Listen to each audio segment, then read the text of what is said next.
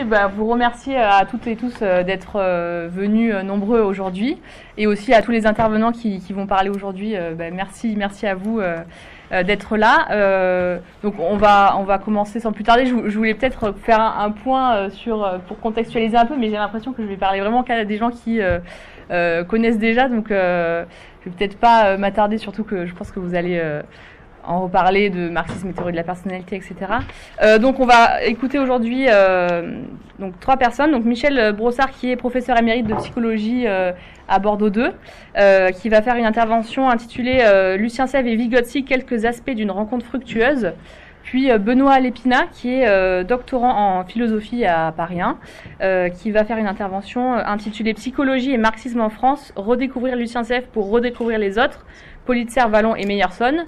Et enfin, euh, Jean-Yves euh, Rochex, qui est euh, chercheur en psychologie et professeur émérite en sciences de l'éducation à Paris 8, pour une intervention sur l'individualité et la biographie entre sciences de la société et celle du psychisme. donc, vous allez avoir du coup 30 minutes chacun. je vous ferai un petit signe quand, ce sera presque temps pour qu'on garde du temps à la fin pour, pour les questions. Donc, comme j'ai dit, on va, on va enchaîner les trois présentations et après, il y aura des questions pour, les trois. Donc euh, on commence par euh, Michel Bocard pour 30 euh, minutes. Merci. Alors tout d'abord, je remercie les, les organisateurs de m'avoir invité pour rendre hommage à Lucien Sèvres. Je, je me présente très brièvement. J'ai été élève de Lucien au lycée de Talence en 1953 ce qui fait, si on calcule, presque 70 ans. Et je n'ai jamais, on ne s'est jamais perdu de vue. Donc, euh, pour moi, Lucien, c'était mon professeur de philosophie, c'est sûr. Mais euh, au fil des années, ça a été un, amitié, un ami et un amitié très, très une amitié très profonde. Donc, pour moi, c'est cette intervention est une intervention importante, à, ce double point de vue. Alors, euh, il n'est pas question, on a tout à l'heure évoqué l'œuvre de Lucien dans son, dans son ampleur. Euh, il faut bien évidemment choisir un point de vue. Euh, j'ai choisi un point de vue très, très local, si on peut dire, ou isolé un petit peu dans le temps. Euh, qui est la période où, euh, au cours de laquelle Lucien a découvert l'œuvre de Vygotsky. En me posant une question, et je ne sais pas du reste si je pourrais répondre à cette question, euh, quel effet, quel impact a eu cette rencontre En quoi a-t-elle consisté tout d'abord? Quelques aspects biographiques, comment s'est-elle produite? Et donc, quel effet a eu euh, l'œuvre de Vygotsky sur, sur l'itinéraire de Lucien? Et euh, pour cela, je prendrai deux points de repère.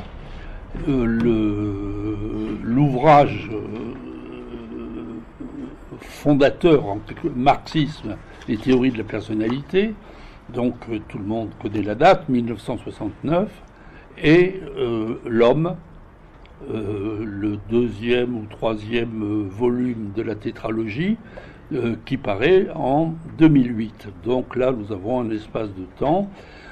Est-ce que sur le problème de la personnalité, quelque chose a bougé dans la pensée de Lucien du, fait, de, de la découverte de cette œuvre? Alors, je, ne vais pas m'attarder sur faire un historique de l'itinéraire de Lucien depuis le fameux article sur euh, les dons n'existent pas euh, jusqu'à marxisme et théorie de la personnalité. Euh, je pense que tout le monde le, tout le, monde le connaît. je rappellerai simplement trois choses. La première chose, c'est que euh, le matérialisme dialectique euh, est le fondement épistémologique de la démarche de, Lucien, et euh, ce sur quoi il va centrer toute son attention sur le matérialisme historique. Et il va développer une thèse qui, à l'époque, était surprenante, à savoir que j'ai toujours été passionné par les problèmes de psychologie, c'est ce qu'il dit d'entrée dans le, la préface de, la troisième édition de Marxisme et théorie de la personnalité. Donc les problèmes de la psychologie m'ont toujours intéressé. Et euh, dans euh, Marxisme et théorie de la personnalité, eh bien, euh, c'est ce que cherche à réaliser Lucien, ayant démontré que les dons n'existent pas, ayant démontré qu'il faut se, tourner vers l'histoire personnelle pour comprendre les styles de développement et les inégalités de développement, euh, il se livre à ce qu'il appelle ses quatre années d'écriture, au cours desquelles il rédige le marxisme et théorie de la personnalité. Il dit que cet ouvrage, qui, comme chacun le sait, a eu et a toujours une très large audience, aussi bien en France qu'à l'étranger. Les, des chiffres ont été, chiffres de publication ont été, ont été donnés, mais il dit que euh, lors de la sortie de Marxisme et théorie de la personnalité, euh, euh, cet ouvrage fut reçu de façon contrastée.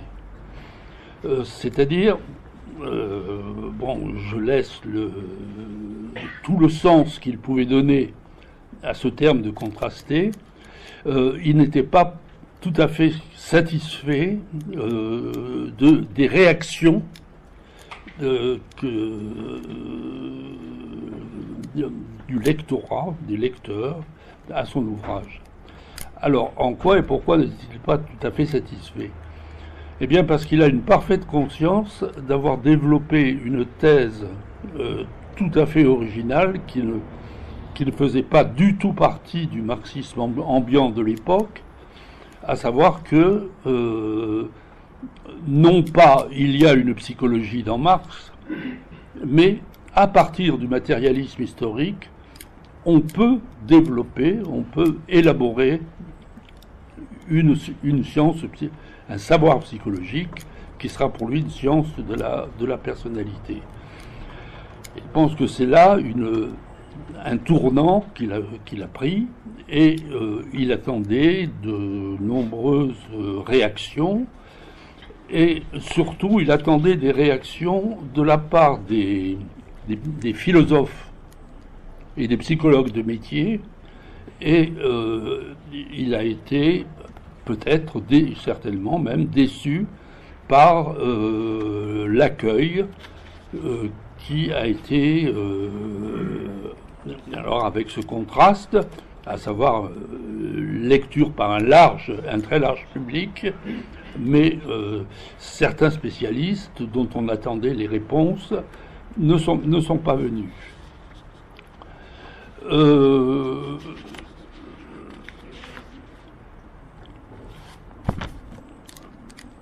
Partant de là, je poserai la question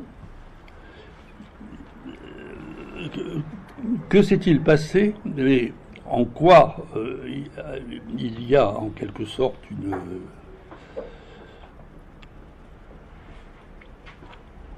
un réapprofondissement des thèses qu'il avait développées dans Marxisme et théorie de la personnalité dans l'homme. Et est-ce que, à 50 ans de distance, cette découverte et euh, lecture de Vygotsky a eu, un effet? Alors, je vais dire simplement quelques mots sur euh, la façon dont s'est déroulée cette rencontre, qui est, qui est, quand même assez intéressante sur le plan historique et histoire des idées. D'une part, euh, le psychologue russe Leontiev, qui s'était intéressé à la personnalité, qui avait publié sur la personnalité, c'était avait été vivement intéressé par l'ouvrage de Lucien.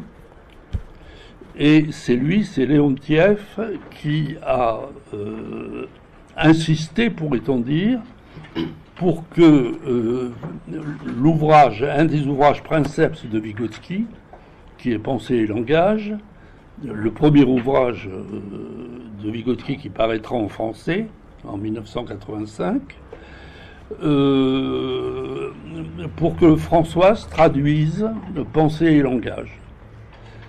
Et euh, c'est au cours de la traduction de pensée et langage que Lucien, qui connaissait l'existence de Vygotsky, puisqu'il cite Vygotsky, il ne le cite pas, il le mentionne, il mentionne son nom dans sa correspondance avec Althusser, je crois que c'est dans les années 1973, mais euh, apparemment il ne l'a pas lu.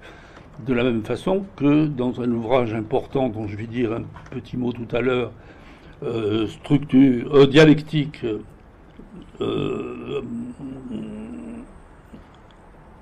et, pardon, dialectique et sciences de la nature, de la même façon que, en lisant ce texte remarquable, à aucun endroit, donc on suppose que Lucien n'avait pas encore connaissance de, de Vygotsky à ce moment-là. Alors, il se produit le phénomène suivant, euh, une concordance des temps en quelque sorte. C'est que euh, en 1985 est publié Pensée et langage de Vygotsky, et euh, de leur côté, et sans qu'il y ait de contact, nos amis genevois, je pense à Jean-Paul Broncard et à Bernard Schnebly, euh, publie un petit ouvrage qui s'appelle Vygotsky aujourd'hui. Et les deux ouvrages sortent en même temps, en 1985, ce qui est l'occasion de euh, la création d'un séminaire où euh, on, se rencontre une première fois. On, ce sont les lecteurs, psychologues, philosophes passionnés par Vygotsky, à la Sorbonne en 1985 et euh, au cours de ce séminaire, Lucien fait une première intervention sur euh, la place de la dialectique dans, euh, dans l'œuvre de, dans l'œuvre de Vygotsky. Les, les, séminaires se succéderont. Lucien participera, participera à quasiment tous les séminaires. Il y fera des interventions euh, tout à fait décisives et euh, ce que je dirais en gros, euh, je pense que Jean-Yves Rochec sera d'accord avec moi sur ce point, c'est que nous étions tous plutôt tournés vers les sciences humaines, psychologie, sociologie, sciences de l'éducation, didactique, et nous lisions Vygotsky à partir de nos préoccupations de sciences humaines. Et euh, Lucien, par ses interventions, et on espère que ces interventions, enfin non, on n'espère pas, euh, on fera en sorte que ces interventions soient, publiées, qu'il y ait un recueil des interventions de Lucien dans le cadre de ce séminaire Vygotsky, qui sont, euh, comme toutes ces interventions, extrêmement travaillées, extrêmement claires, extrêmement approfondies. Euh, Lucien nous a apporté euh, un regard de philosophe euh, qui était tout à fait fondamental pour nous, psychologues, sociologues, etc. Je les ai relus avant de venir et j'y ai trouvé toujours de nouvelles richesses. Alors, question, il faut un petit peu rentrer dans le, dans le contenu, bien qu'on ne peut pas faire des exposés ex-cathédra d'une production théorique. Euh, question, qu'est-ce qu'est-ce qui a, je dirais pas séduit, le terme n'est pas correct, mais qu'est-ce qui a surpris, et heureusement surpris, Lucien lorsqu'il a découvert Vygotsky? Eh bien, euh, le lecteur d'aujourd'hui éprouve aussi cette surprise. Lorsqu'il lit, par exemple, l'ouvrage que je citais tout à l'heure, Dialectique et sciences de la nature, et un ouvrage important de Vygotsky qui s'appelle euh, La signification historique de la crise, qui euh, a été traduit peu de temps après par euh, Jean-Paul Broncard. Il y a des des rencontres qui sont tout à fait importantes, à savoir euh, des philosophes, parce que Vygotsky était aussi philosophe, qui a fait, un philosophe qui a fait une lecture approfondie, dit Lucien, euh, de Marx, et qui se propose d'instaurer une psychologie, alors non pas une psychologie marxiste, car ils sont bien d'accord sur ce point, il n'y a pas de psychologie dans Marx, mais euh, par contre, il y a les pierres d'attente, il y a certains concepts qui euh, sont indispensables pour construire une, psychologie matérialiste et dialectique, une science, une science psychologique. Et ce point est absolument capital. Euh, c'est l'objet, je crois, de la première, des premières interventions de Lucien dans le cadre du, dans le cadre du séminaire. Mais euh, il y en a beaucoup d'autres. Euh, par exemple, la formule. alors, je ne dis rien des contextes historico-politiques de l'époque c'est-à-dire euh, la mise à l'index de Vygotsky en Union soviétique, euh, la traduction, des traductions partielles de, de Vygotsky aux États-Unis. Je dis partielles parce que les références à Marx étaient euh, systématiquement passées à la trappe. Donc, l'histoire, euh, la vie personnelle et créatrice de Vygotsky a été euh, terriblement tourmentée par euh, soit des interdits, soit des mises à l'index, soit des non-publications, puisqu'il ne sera, il ne sera republié qu'après un long silence, après, sa mort en 1934, qu'en 1956, à l'époque de, à de. Euh, publié partiellement du reste.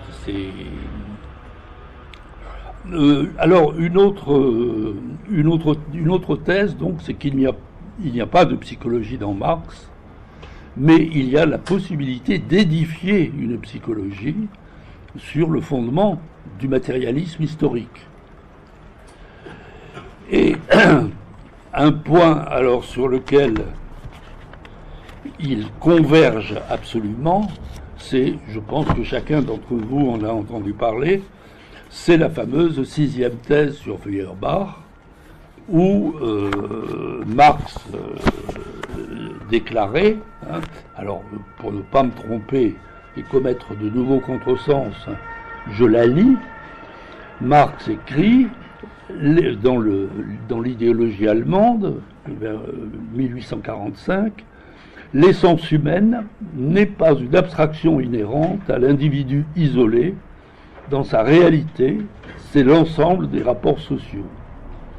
Alors, euh, très, je ne vais pas me livrer un commentaire, hein, mais euh, il faut quand même mentionner que il y a toute une reconceptualisation du concept d'essence, et là je crois que euh, il faut se référer à la philosophie, le troisième tome de la tétralogie, où Lucien expose de façon lumineuse euh, l'histoire du concept d'essence jusqu'à euh, cette rupture avec Marx, à savoir que l'essence n'est pas une réalité intérieure, immuable, etc., euh, d'origine transcendantale, mais l'essence doit être conçue comme un rapport et un rapport productif.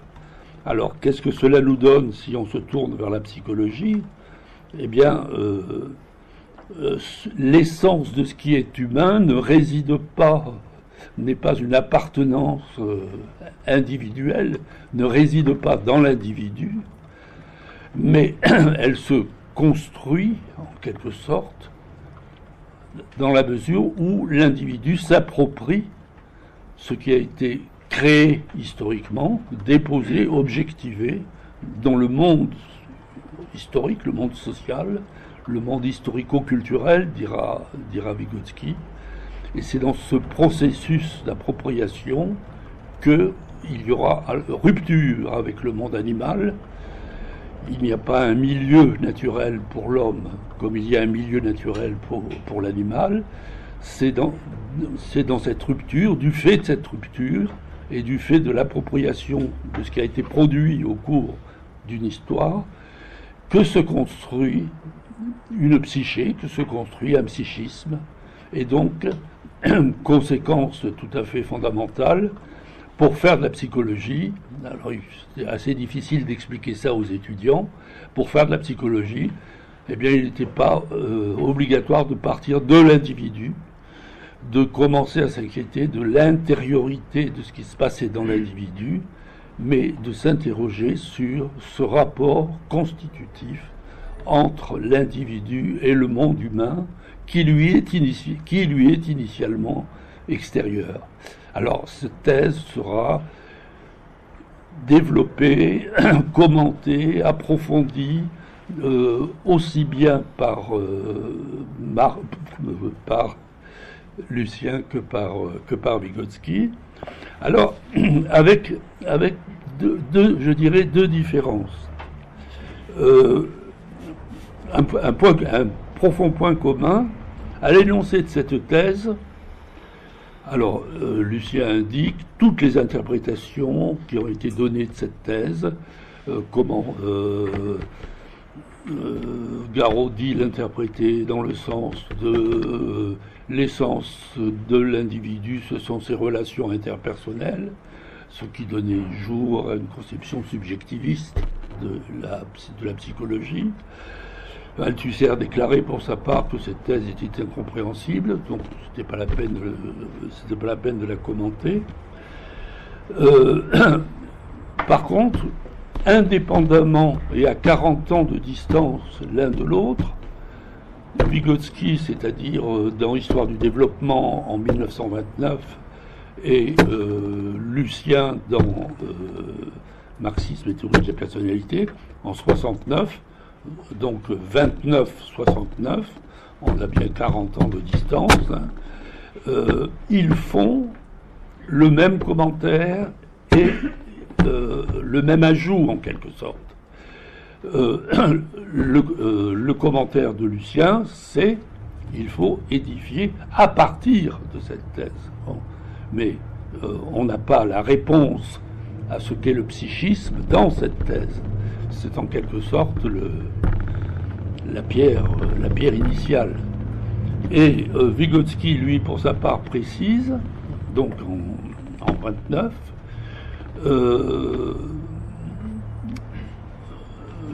alors il cite la sixième thèse,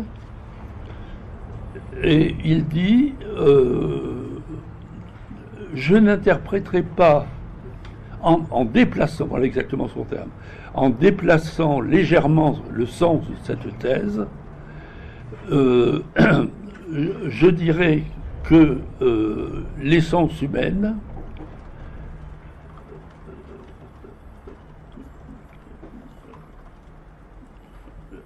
euh, en, déplaçant légèrement, en déplaçant légèrement le sens de cette thèse, je ne m'oriente pas dans la direction de Marx qui est de constituer une science des sociétés, c'est-à-dire le matérialisme historique, mais je déplace cette thèse non pas vers le social, l'historique, mais vers l'individu. non pas vers le génus, dit-il, mais vers l'individu. Et euh, il y aura une formule de Lucien qui est absolument euh, le même commentaire. Le matérialisme historique est inséparablement théorie des formations sociales et des formations personnelles c'est-à-dire toujours cette même idée qu'ils sont les seuls à avoir, à savoir qu'une psychologie est possible à partir du matérialisme historique.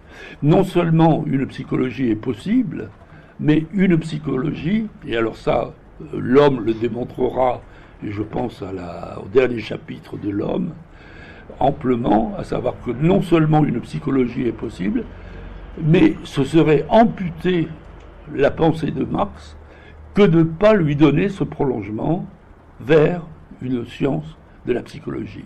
Ça ne sera donc pas une annexe du ce qu'on appelait le marxisme, mais ça, sera une composante essentielle, euh, surtout si on s'intéresse aux aspects pédagogiques, pratiques, euh, thérapeutiques, euh, etc., perspective que Lucien ouvre dans la, dernière partie de l'homme.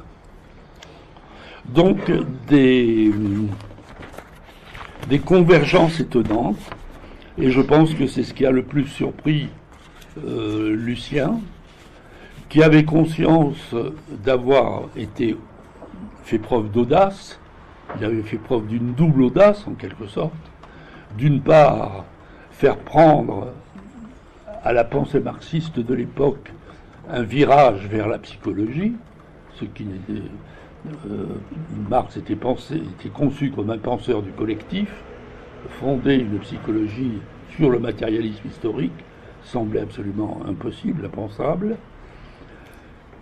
Ça, c'est euh, l'une des premières, des premières originalités. Et euh, le, deuxième apport, c'est bien évidemment d'avoir entrepris le travail. Alors, euh, Lucien l'entreprend dans Marxisme et théorie de la personnalité. Vygotsky, pour sa part, l'entreprend dans Histoire du développement des fonctions psychiques supérieures. Euh, alors, j'ai parlé de deux, de deux différences. Une première différence, c'est que alors que cette thèse fondatrice est citée très souvent par Lucien, reprise, recommentée, précisée, euh, Vygotsky n'en parle plus. Il l'énonce en 29 et puis euh, il ne la cite plus textuellement. Alors on peut se poser la question, est-ce que euh, Vygotsky a suivi la même voie que Lucien, à savoir édifier une psychologie sur le processus d'appropriation du patrimoine euh, humain, historiquement déposé, etc. Euh, est-ce que Vygotsky, qui a donné beaucoup d'importance pour comprendre le développement au rapport interhumain et qui a expliqué comment, euh, à partir des rapports interhumain, donner, recevoir, parler, répondre, comment des conduites interpsychiques au cours du développement vont se reconstruire sur un plan intrapsychique, est-ce que Vygotsky n'a pas finalement, comme il ne le recite, plus cette sixième thèse, est-ce qu'il ne l'a pas abandonnée?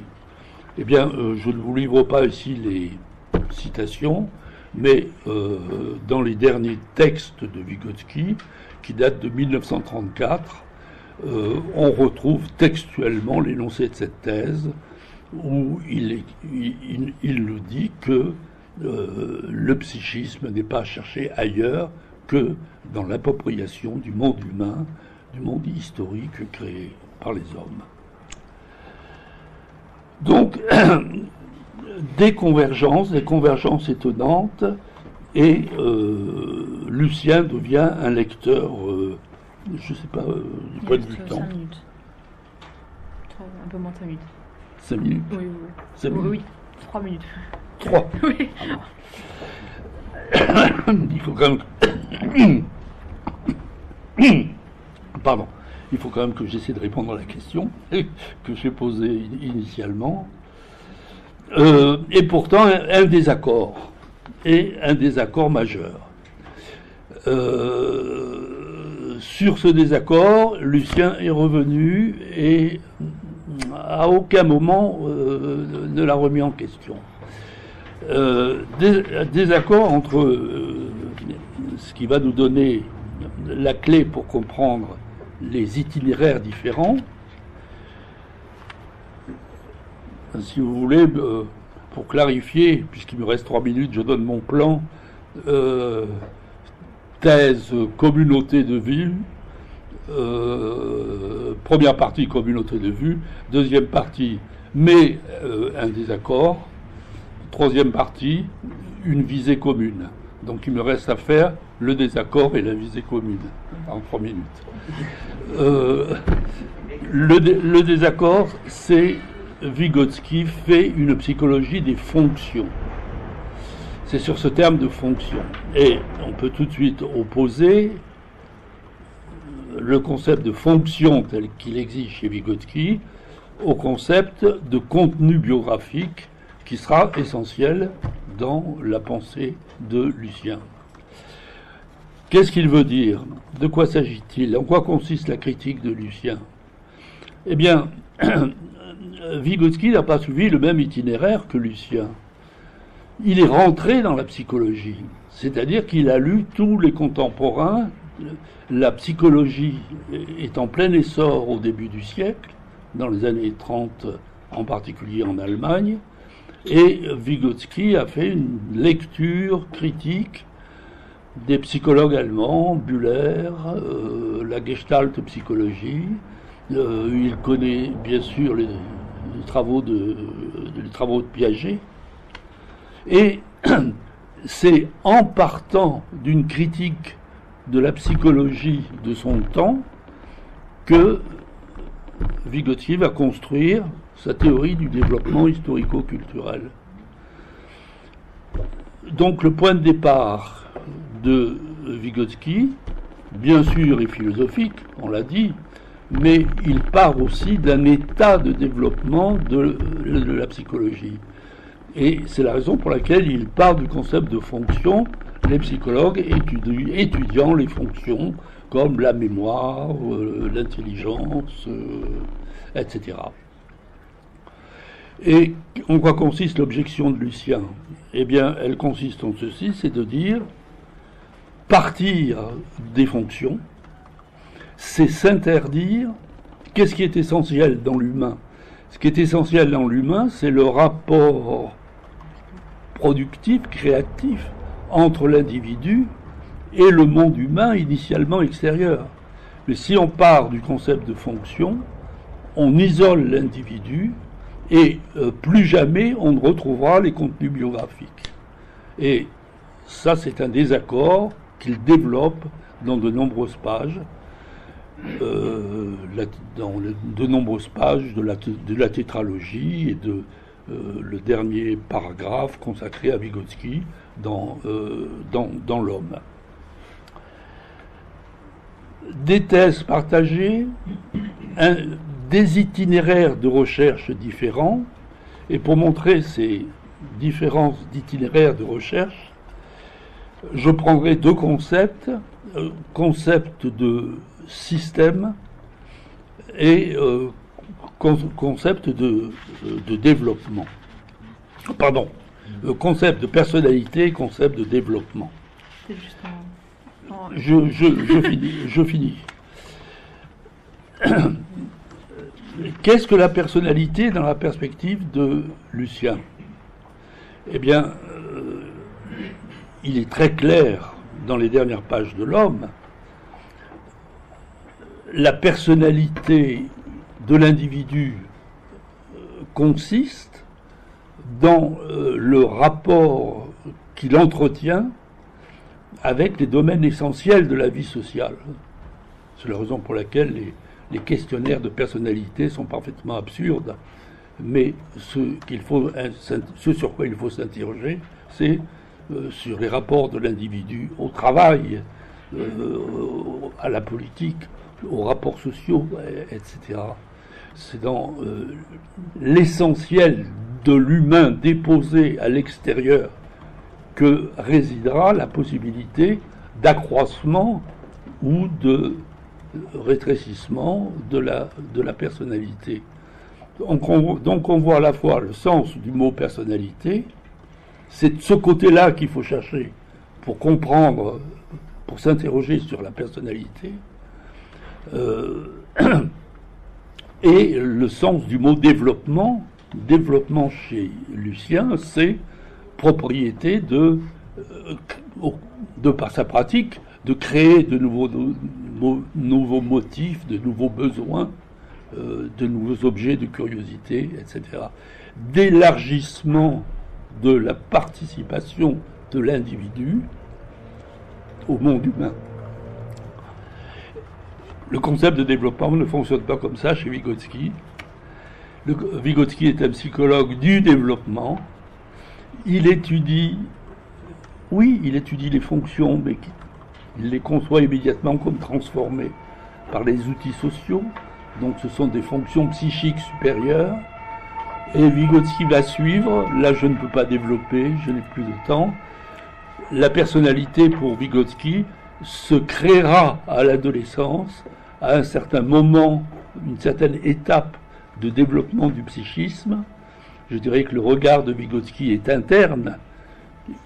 Il ne pense pas que ce développement a lieu indépendamment de la relation de l'individu au monde social, bien sûr que non, mais c'est une exploration interne du développement psychique que l'on trouve chez Vygotsky.